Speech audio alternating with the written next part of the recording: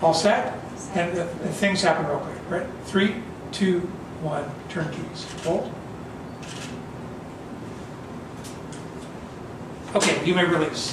That's all there is to it. The green light turns on, says launch enable. For all intents and purposes, that little green light should say, welcome to World War III. That's pretty much what it boils down to. Batteries activated means we have two batteries aboard the missile that are charging up. They're going to supply electric power for the missile while it's in flight. Takes 28 seconds to charge the batteries. When the batteries come online, we'll get amps power. That means the missile has switched to internal power, is now fully on its own. The silo door starts to slide open. When it slides far enough, it'll slide through the radar beams to set off the alarm. That gives us silo soft. Guidance go means the internal guidance computer has completed critical checks of the guidance system. Everything is go. In a few seconds, we'll have main engine start.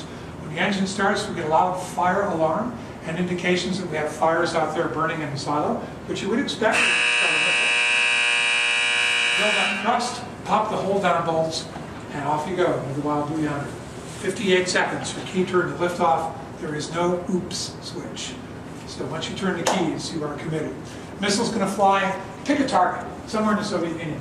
Uh, Vladivostok, okay? From here to Vladivostok, 6,300 miles away, give or take. 35 minutes via Titan II. Top speed, 16,000 miles per hour.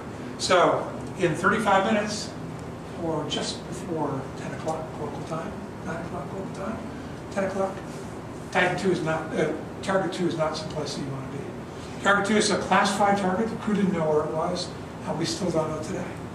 And in 35 minutes, Target 2 just disappears inside of a fireball some three miles in diameter and brighter, they say, than 100 suns.